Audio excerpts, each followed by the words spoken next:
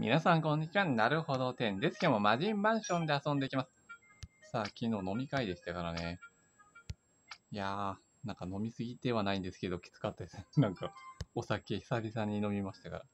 えっ、と、段ボールは隣でマッチすると消すことができると。どういうこと？あー、ここで？あー、周りが段ボールがあれなんですね。崩れていくってことですね。で、下の方で消しておいた方がいいと。こんな感じですか？まあ、あれですよね。端っこが消しづらくなるのは、いつものパターンですからね。うーん、どうしますかおお一気に壊れた。で、昨日あれだったんですよね。珍しくお好み焼きだったんですよね。居酒屋？居酒屋風お好み焼きでしたね。お、これすごい爆弾がうまく出ていやー、そしてお好み焼きは美味しかった。やっぱり。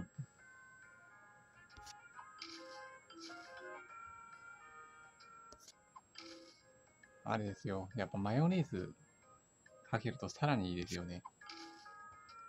よし、これでロケット作っておいて。うーん、どうしますか。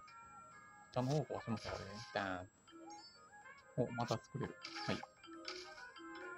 あんまりロケット壊れないですよ。よ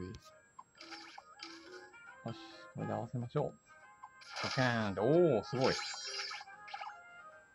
あー、けど黄金も、大きい黄金が。手にしないといけないから、よし。あと、あと3つあるの？まあ、1個ここでしょ？あと右下と左下ですかああ、あそこにある。壊し方も考えないと。こうやって壊せば。よし。で、あと右。はい。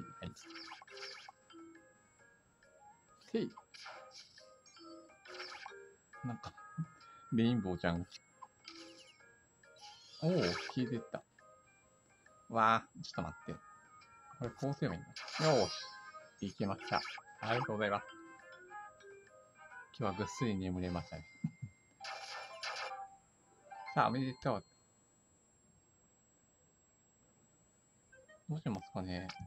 あえてテーブル置かない、置きますか？あともう一個貯めないといけない。